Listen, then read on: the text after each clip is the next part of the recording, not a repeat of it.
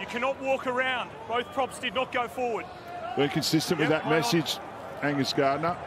As the Rebels go quickly, It's forward, and hands are strong. It's okay though as Kellaway skips infield, looking for runners. Kellaway now accelerates and gets it clear to Alama. Oh, this is excellent. It's intercepted by Muirhead.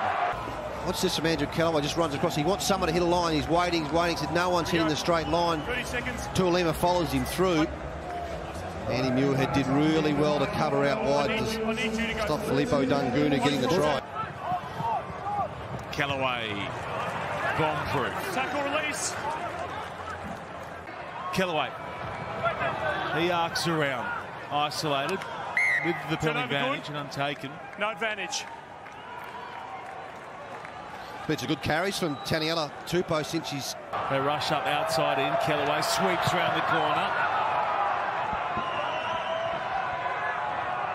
Tip ball here for Leota. Redwell. Well, Lonergan. They've got to get points soon to be any hope. It's Salakaia-Loto. They rush up outside in. Kellaway sweeps round the corner. Lonergan. Nos Lonergan kicking like his brother Ryan. The hooker sends it into the Rebels 22. Kellaway, centre field, beats Ryan Lonergan, then goes back towards Wilkin, met eventually by Frost. Set. Good. Advantage.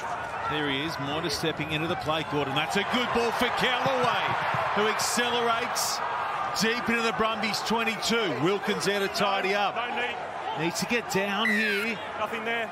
Easy. for Rob Leota. What do you got there, Goog? Just Matty, Matty Gibbons been very good at, at putting Van Nek under pressure there. He's taking an outside line, loose head, outside shoulder. Gets inside, moving forward now. Carter Gordon swings out the back, finds Kellaway. Edge towards the touchline and spins back in field, setting up play here for Gibbon.